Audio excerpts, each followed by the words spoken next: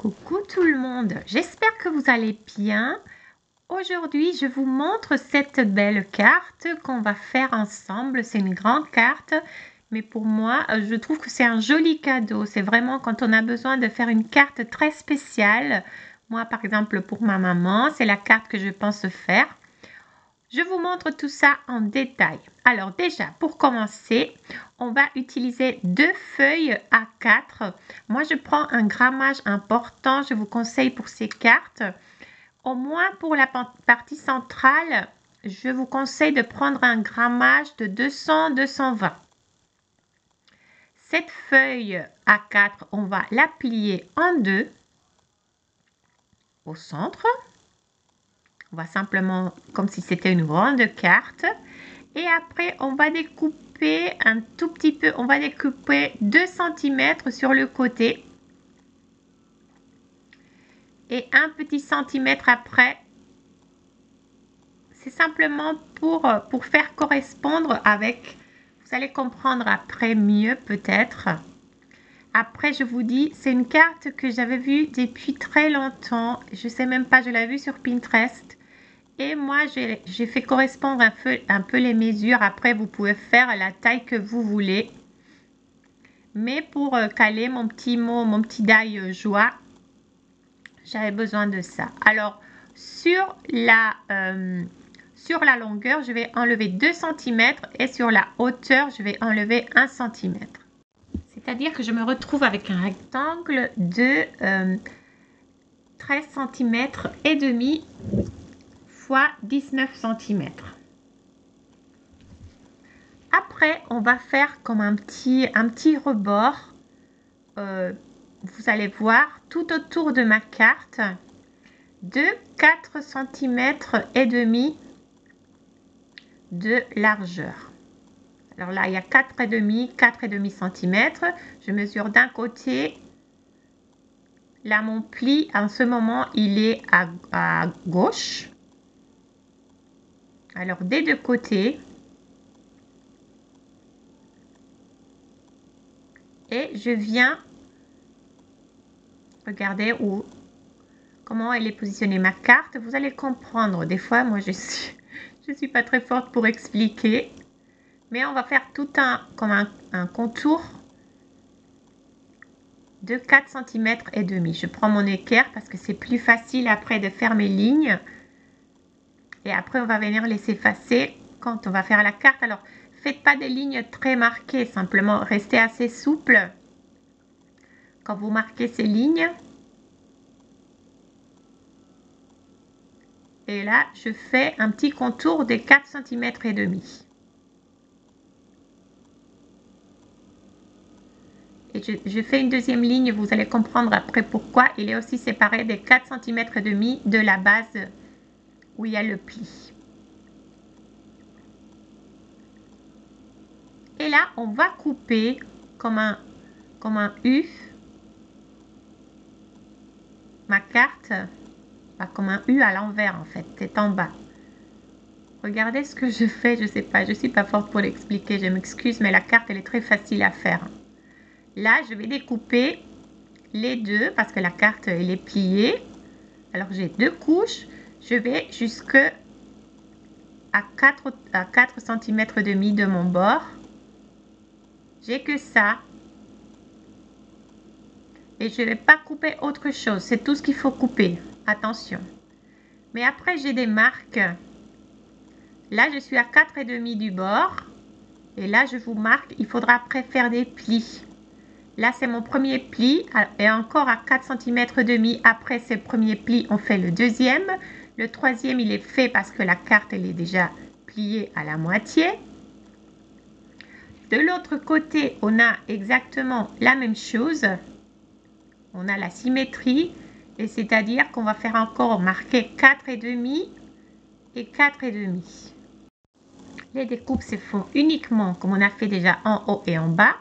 Et après, on va faire des, euh, on va marquer pour faire des plis il y a un pli central qui est déjà fait parce que la carte elle est, déjà pliée à la moitié. Mais il nous reste deux plis à faire de chaque côté. Là où j'ai marqué les lignes discontinues. Là, vous décidez si vous avez un outil pour plier une petite table de pliage, vous l'utilisez. On va rester que à l'intérieur. Et on, fait, on marque les plis, quatre plis.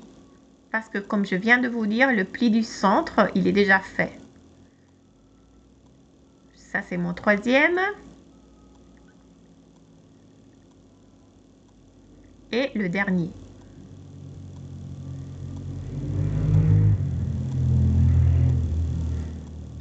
Et après, tout le, tout la magie va se faire. Et là, faites encore attention comment on va plier ça. On va essayer d'avoir une lettre M.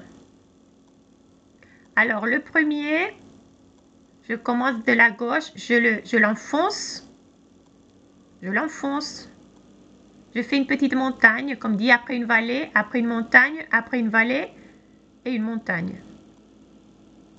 Alors regardez bien ce que j'ai. Au centre, c'était déjà fait. Et ça, c'est tout, tout la, la, complexité de cette carte. Regardez là, j'ai comme une, lettre M et un V. Un V et un M. Et c'est tout. Ça, c'est le secret de cette carte. Après, vous avez qu'à décorer, ajouter, euh, ajouter les côtés. Alors, pour les côtés, c'est une une page coupée en deux et j'ai fait une petite euh, un petit rebord pour pouvoir la coller alors j'ai deux petites portes qui font 19 cm de hauteur fois 14,7 euh, et je fais un petit pli, une petite, euh, un petit rebord de 1 cm. C'est-à-dire que je me retrouve avec 13,7 cm ou 13.8. En fait, j'ai pris ma carte, euh, ma feuille A4 et je l'ai découpée en deux. Mais l'idée, c'est de faire correspondre à vos mesures de carte. Un, millimètre, ça va pas faire euh, une, une grosse différence. Ce sont mes petites portes. Et ça va nous permettre de construire une carte. Après, on va mettre une petite décoration au centre. Et pour cela, on a encore besoin d'une autre pièce. C'est un peu long, mais je vous dis, ça vaut le coup. La carte, elle est trop belle. Et là, je vous ai marqué bien le mesure. Alors, on a 2 cm, c'est un rectangle. Le mien, il est un peu plus loin, euh, plus long. Là, il faudra le découper. Fois 9 cm de longueur. Et il y a des plis à 1,5, à 3, après à 6 et à 7,5. Et ça, ça va, ça va servir pour monter une petite pièce. Dans ce cas, dans mon cas, ça va être le petit, euh, la petite découpe joie. Là, vous pouvez faire ce que vous voulez. Vous pouvez décorer comme vous voulez un petit sapin de Noël. Il y a plein, plein, plein d'idées. Je, suis trop contente avec cette carte parce qu'il y a plein de possibilités. Alors là, j'ai ma pièce de 2 x 9 cm. Et j'ai marqué mes plis Là où vous voyez des petits traits, et demi, 3 et après 6 et 7 On va se faire un petit système. Là, je suis pas, moi, je vais vous le montrer après, je pense. C'est pas, c'est pas, de toute façon, il n'y a pas, il a pas magie. Je suis désolée, j'étais totalement hors caméra mais je, vais vous les montrer bientôt. Et vous allez voir qu'il faut plier. Là, on le voit. Il doit faire cette forme-là pour vous. Vous devez vous retrouver avec cette petite forme-là. Qu'on va venir après coller. Et ça va nous permettre de, euh, de faire flotter un petit élément. C'est ça le, une des beautés de ces cartes. Là, vous mettez de la colle. Je voulais pas le faire parce que moi, après, je viens, euh, décorer tous les bouts de cartes avec des couleurs contrastées de Noël. Vous pouvez le faire ou pas, c'est à vous aussi de décider mais c'est alors après. Là, je vous le montre simplement pour que vous, sachiez comment le coller. J'ai mis un tout petit bout de colle minus, mais après je vais l'enlever parce que moi je vais décorer tous les, plans de cette carte pour que soit encore, encore plus belle. C'est sur ce petit élément qu'on pourra venir après euh, mettre notre petit élément flottant, soit un, un élément carré avec un message, soit comme moi j'ai décidé de mettre une décoration, le mot joie, mais vous pouvez mettre ce que vous voulez. Alors comme je vous disais, on vient aussi euh, décorer chaque plan. Et là, c'est à vous de, prendre, vous pouvez tamponner, vous pouvez faire ce que vous voulez. Moi, j'ai décidé de prendre des papiers à motifs. J'en ai des tonnes, je suis sûre que vous aussi. Chez Action, il y a des très jolis papiers euh, à motifs de Noël. Cette carte aussi, pensez, c'est pas nécessairement une carte de Noël. Moi, je suis dans le thème de Noël, c'est pour ça que je la fais Noël. Mais vous pouvez imaginer cette carte avec des fleurs, avec euh, n'importe quoi. C'est le système qui, je trouve, est très intéressant. Alors, je viens découper. Moi, ce que je fais, c'est que je prends les mesures après de chaque élément de ma carte et j'enlève à peu près un demi-centimètre. Et comme ça, je me retrouve avec ces formes-là que je viens après coller tout simplement sur chaque plan euh, de ma carte et ça va donner beaucoup plus de vie. Alors je vous montre ici, moi je fais à l'œil, vous pouvez prendre aussi les mesures. Moi je prends tout, je fais tout à l'œil. Je suis un peu paresseuse. Je vous montre ici. Je, me, rentre un tout petit peu de chaque côté après, je glisse sur le côté pour avoir euh, la mesure d'en bas. Et après, je mets de mon équerre pour faire, euh, pour faire mes marques. Et pouvoir faire ma découpe. Ça prend un tout petit peu de temps aussi, mais je trouve que ça va donner beaucoup, ça va rehausser beaucoup plus cette carte et ça va faire que euh, le rendu soit très très joli. Je découpe.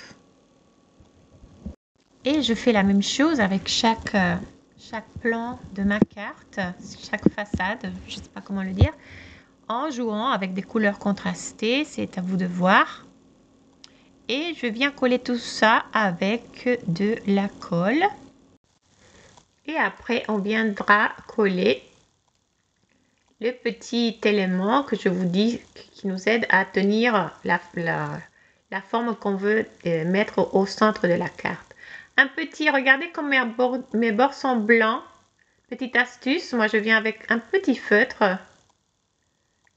Et comme ça, on n'a pas les découpes. Quand on découpe euh, du papier cartonné comme ça, on enlève euh, ces petits côtés blancs. Après, pour mes petites portes, moi j'ai décidé, vous pouvez faire ce que vous voulez, moi j'ai décidé d'utiliser ces gros classeurs de gaufrage. Bah, ils sont grands, gros non, pardon, c'est grand, ils sont les plus grands. Et moi, ça, je trouvais ça joli. Des deux côtés, ça tombe bien parce que c'est fait à peu près, il manque un tout petit bout euh, en bas, mais euh, ça se voit même pas et des morceaux qui me restaient de ce papier. C'est pas le même, mais il me semble qu'il me restait ces deux morceaux en fait. Je vais utiliser ça pour décorer l'intérieur de mes portes. Et on viendra après avec ces petits éléments placer d'une façon flottante le, la découpe joie. Comme ma découpe est blanche, j'aurais pu la faire verte. Pour dissimuler un peu, bah, je viens effacer et je vais coller un tout petit peu de papier vert que j'ai par là simplement parce que le haut du mot joie, le, centre de la couronne, pour qu'on voit du vert au lieu du, blanc, ça c'est un petit détail, mais simplement je viens coller un tout petit bout. J'aurais dû en fait, je pense que j'aurais dû couper tout en vert. Mais bon, c'est un, un petit truc de dernière minute pour moi. Et ces petites pattes, là maintenant je vais les coller bien, les coller. Je vous avais montré un petit peu avant. Mais là, je vais vraiment bien les coller au centre de mon, de mon M. Là, je peux aplatir et coller. Laisser sécher un peu et après, je pourrais coller mon élément. Mon élément. Là, on va laisser un tout petit peu la colle agir. Alors, en attendant, je vais vous montrer un tout petit peu ce set de die joie et comment c'est trop facile d'assembler. Alors, le die, il vient en plusieurs parties. Il y a déjà le, le contour du mot. Après, il y a une petite, euh, petite euh, arrière-couronne. Je peux appeler ça comme ça. Et après, il y a les lettres et des petites feuilles que, qui vont venir décorer la petite couronne. Alors, vous pouvez, comme moi, découper tout en blanc. Là, je vous montre en toute vitesse, mais vous pouvez faire mille, mille façons différentes. Vous pouvez les découper déjà dans du papier à motif. Mais moi, ici, j'ai tout découpé en blanc et je viens colorier avec des feutres alcool. Vous pouvez placer la couronne de, de façon décalée comme ça ou venir l'aligner avec les pétales. C'est à vous de choisir aussi ce que vous aimez le plus. Après les petites lettres, elles viennent se placer sur le contour. Il n'y a que les, ces trois lettres-là parce que le O, il vient être, il vient, euh, être remplacé par cette couronne. La même chose ici, je vais, je vais colorier en rouge pour vous montrer en toute vitesse comment vous pouvez assembler ce mot. Ben, c'est très très facile à faire en fait. Il n'y a pas grand science euh, derrière. Je vais mettre de mon petit outil euh, crochet pour tenir mes lettres. Ça, je trouve toujours assez pratique. Et je voulais vous partager aussi une petite astuce si vous voulez donner un peu de relief à ces lettres-là. Vous pouvez prendre n'importe quel classeur de gaufrage et vous pouvez placer vos lettres. Et comme ça, vous aurez un petit détail différent. Là, je cherche plutôt les flocons les plus petits. Des fois, on cherche à que ce soit vraiment aligné. Ici, ce n'est pas le cas. Et je ne sais pas si on arrive à voir, là je les ai passés. Et là vous, allez voir qu'ils ont un tout petit peu de texture. Et c'est plus joli je trouve de jouer un peu avec ça. Sinon on peut les colorier en différentes couleurs. C'est vraiment plein plein plein des choix. Après avec les feuilles autre petite astuce c'est si vous les laissez là dans le die et vous utilisez un petit tapis silicone et vous repassez vos feuilles à la machine vous allez avoir plus marqué, d'une façon beaucoup plus marquée, les centres des feuilles. Il y a le petit centre qui est marqué. Là, c'est pas évident à voir, mais croyez-moi que vous allez le voir. On le voit un tout petit peu. Mais vous verrez ça, si vous passez, c'est toujours avec les tapis en silicone, on peut plus se marquer. Quand vous avez des dailles qui ne coupent pas mais qui laissent des formes, utiliser ce tapis de silicone. Ici, simplement, je vais découper d'autres feuilles en verre et je vais assembler le die. Ici, je vous montre quelques exemples différents que j'ai fait. Je me suis amusée à jouer avec des papiers, métalliques, avec le fond de la couronne, sans la couronne, avec des effets gaufrage, comme je viens de vous dire. J'ai joué avec des fleurs en deux couleurs. Ici, j'ai gaufré que les lettres, pas le, pas le centre. Et aussi, on peut faire euh, petit, une petite fleur aussi. C'est pas que pour Noël. Je vous dis, j'essaie toujours de chercher des utilisations différentes pour, pour tous mes, mes, mes fournitures, même pour mes dailles. Alors ici, simplement, j'ai fini, j'ai collé et je voulais vous le montrer. Je trouve que c'est un die très joli et avec plein de possibilités. Je viens utiliser aussi le pinceau à paillettes pour les feuilles, les feuilles les plus claires. J'aurais pu aussi pour les lettres. Là, les feutres à paillettes, c'est vraiment pour Noël, c'est le moment idéal. Là, je pense qu'on le voit et c'est très très mimi. J'aime beaucoup ces finitions. Je voulais vous dire aussi pour celles qui achètent, le, hum, feutre, il vient avec un petit anneau jaune de protection. Il faut dévisser, il faut enlever l'anneau. je ne l'ai pas parce que le mien, il est déjà utilisé. Vous, vous enlevez l'anneau et vous revissez. C'est comme ça que vous allez utiliser votre pinceau, sinon il n'y aura rien qui sortira. On revient à notre carte. Alors, on va coller notre petit élément. Je pense aussi un petit conseil, peut-être que mon élément, j'aurais dû le faire un peu plus costaud. J'aurais dû euh, doubler le, le fond parce que je trouve qu'il est un peu fragile peut-être. Ça marche encore, mais je vous conseille peut-être de le faire, de le doubler. Là, j'attends que ça sèche. Rappelez-vous, on s'est rapproché le plus possible de la gauche. Et ici, simplement une enveloppe vite fait que je suis venue gaufrer aussi avec une planche de gaufrage et que je vais venir décorer avec ma dernière planche. Je suis trop contente avec cette planche. Vous avez des mini-phrases, vous avez des petits éléments et des petits mots que vous pouvez utiliser aussi pour mettre des petits messages à l'intérieur de ces timbres. J'utilise un peu de talc parce que je vais faire à la Versamark. Je vais rester avec euh, de la poudre d'embossage blanche. Je trouve que ça allait bien. Mais je vous avais montré sur la vidéo de la, il y a 15 jours que vous pouvez faire plein de possibilités. Vous pouvez jouer avec les couleurs, vous pouvez jouer avec les poudres de gaufrage. Vous pouvez découper. Dans ce cas-là, moi, je ne vais pas utiliser le die. Je vais simplement tamponner directement sur l'enveloppe. J'ai demandé à la poste et ils m'ont dit qu'il n'y avait pas de problème. On peut décorer les enveloppes. Même si on colle, si on les découpe et on colle, l'important c'est de bien les coller. Désolée, on voit ma tête. Mais j'étais je voulais bien centrer, bien aligner, mais en fait, même en, en essayant de bien faire, je vois que mes deux timbres sont un tout petit peu décalés. Mais bon, c'est ça, c'est la beauté de l'imperfection. Et je viens, j'ai laissé sur un, j'ai laissé le sapin et sur l'autre, j'ai mis une petite branche. Là, je mets ma poudre. et on vient simplement, des fois je sens que quand deux fois ça, ça couvre mieux. Et on va faire venir fondre la poudre avec le pistolet chaud. Là, j'ai accéléré un tout petit peu parce que je trouvais que la vidéo, elle était déjà bien longue. C'est un petit enveloppe fait maison parce que la carte elle est plus grande que les cartes standards. Après, je vais simplement rajouter des petits mots. Ces petits mots sont sur, sur cette dernière planche aussi. Je vais mettre paix et amour d'un côté.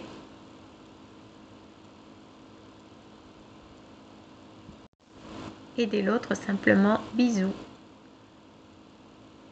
Je trouve que c'est sympa. Dites-moi si vous aimez cette, idée des, petits timbres.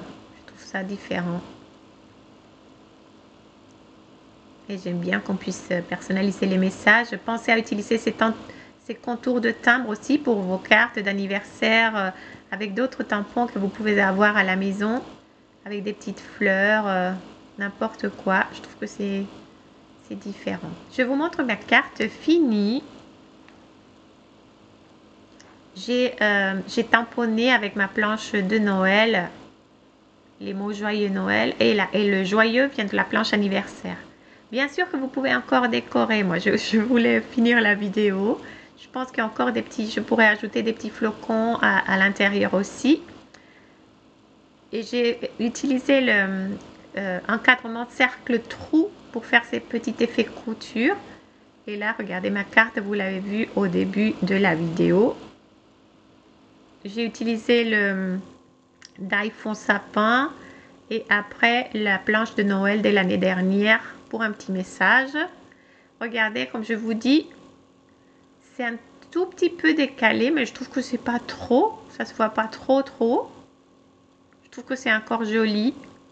Je vais vous montrer une photo aussi à côté pour voir ce que ça donne mais vraiment je trouve que c'est très joli et comme on peut jouer avec les couleurs je suis sûre que vous ferez encore mieux que moi niveau combinaison de couleurs je vais vous laisser euh, tous les liens sur euh, la description de la vidéo des planches, des dailles. Il y a plein d'autres dailles de Noël. J'espère que vous avez aimé cette carte, que vous avez compris mes explications. Des fois, c'est pas évident. Euh, vraiment, c'est pas compliqué. Simplement, ça prend un tout petit peu de temps, mais comme je, dis, je vous dis, pour quelqu'un de spécial, je trouve que pour euh, cette carte, elle va rester en, exposition, en exhibition, et je trouve que c'est très joli. J'espère avoir vos petits pouces bleus, vos commentaires que j'adore et que je lis tout le temps. Bon, on peut encore, oui, rajouter des choses derrière. Mais bon, la, la vidéo, elle devait, elle devait se finir. Je vous remercie beaucoup. Je vous dis à très très bientôt. Gros gros bisous et passez euh, un très bon, un très bon week-end et une très bonne semaine. Ciao ciao. Merci beaucoup. À la prochaine. Bisous.